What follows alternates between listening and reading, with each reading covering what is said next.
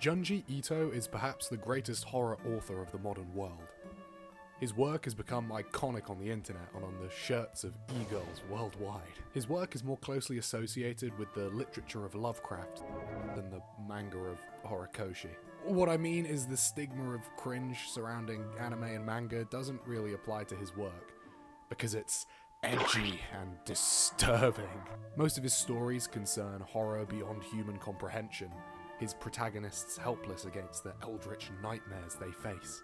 It's a shame then most of his protagonists are fools. Put me in a Junji Ito story and I'll have that shit sorted in 30 minutes tops. So today I'll be teaching you scallywags how to survive the stories of Junji Ito. Wake up. Wake up. Wake up. Long Dream centers around an individual called Tetsuro who admits himself into hospital after experiencing dreams of increasing length. As the story goes on, he's trapped in his own mind from months to years, until eventually he enters REM sleep and disappears entirely. So the thought of being trapped in a nightmare for a two year period is, is pretty frightening. But some of his dreams aren't even scary, it's simply waking up and realizing your love of 10,000 years was not real. Look, the solution to this is mental discipline. Nightmare or no nightmare, you are still dreaming. So as soon as you become lucid, you know what that means. Oh my god, you guys, I'm flying through the air. Oh my god, what an incredible dream. Oh, and look, look, everybody, it's my imaginary wife. Truly, dreams are incredible. You could always just have some Red Bull as well, that seems like a solution. Let me in. Let me in. A young boy called Hiroshi moves into a new house with his family, but every night he's disturbed by a mysterious woman in an adjacent house. She invites him to come over, which he refuses. As the nights go on, she gets more and more determined to come to his room, sticking out a washing pole, and gradually the window sort of stretches over closer to his. The story ends with Hiroshi saying that soon she'll be able to climb into his room, leaving his ultimate fate unknown.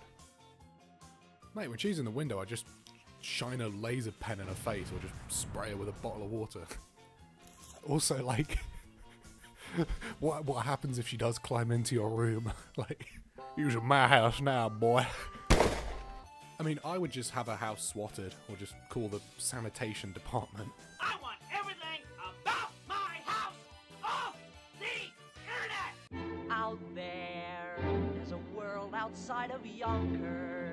Hellstar Ramina, or, or Remina, is the tale of a planet sized monster descending onto Earth and gobbling it up whole. Now, I know what you're thinking, seems, seems pretty insurvivable. But you see, people only really start dying when, when, when it licks the Earth and everybody starts flying around. You know, so long as you're able to survive that, then your next big obstacle is when you're actually inside the Hellstar. This edible ain't shit.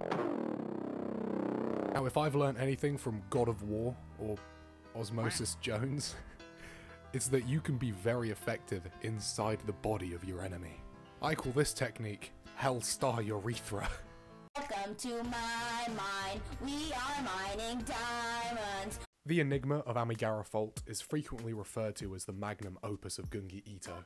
After an earthquake, an uncovered fault line reveals hundreds of human shaped holes in the rock. Unexpected item in. Some people, upon seeing the holes, believe that some of them are shaped perfectly just for them and are mysteriously compelled to climb inside. What are you doing, step bro? However, as you shuffle further and further down, your body is slowly twisted and warped by the rock, until, at the other end of the tunnel, nothing but a fleshy shape remains.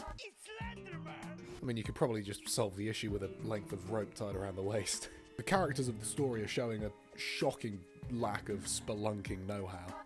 If you suck my pussy, baby, I'll suck your dick. I Dissolving Beauty centers around the Giga Chad Yuma as he tries to navigate high school life. Effectively, he just compliments his girlfriend, and it's revealed that when he compliments her, he's actually complimenting the devil that he worships.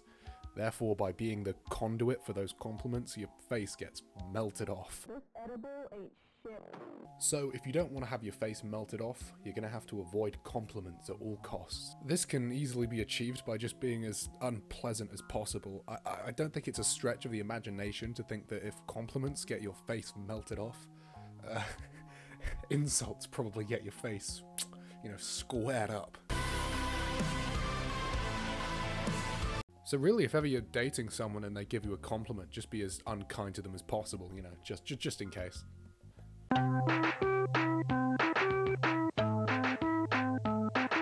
Always remember to cherish what you have, because only when it's gone will you realize how much it mattered to you.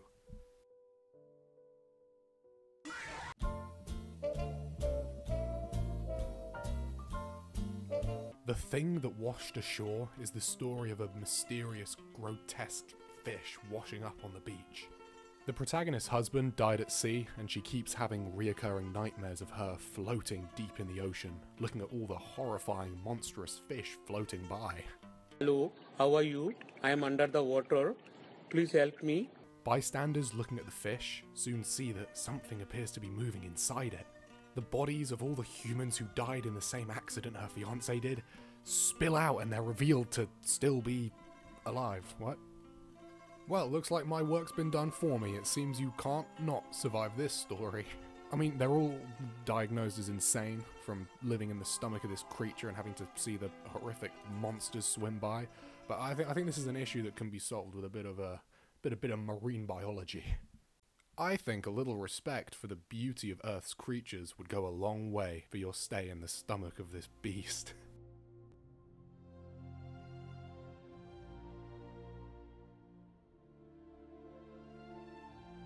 I don't know if it's the translation, but when it just says after investigations they were all found to be mentally ill. Like they just found Prozac in the fish's stomach. Well, guys, thanks for watching. I, I sincerely hope you enjoyed. Um, feel free to subscribe. It's uh, it's pretty pretty cool. You, you know, we, we, we have a lot of fun here on the Node Armstrong channel. But really, it's been a really fun year. Um, we've only unlisted um, seven videos, so. Uh, but really, thank you so much for the support. I'll um, I'll see you guys next time.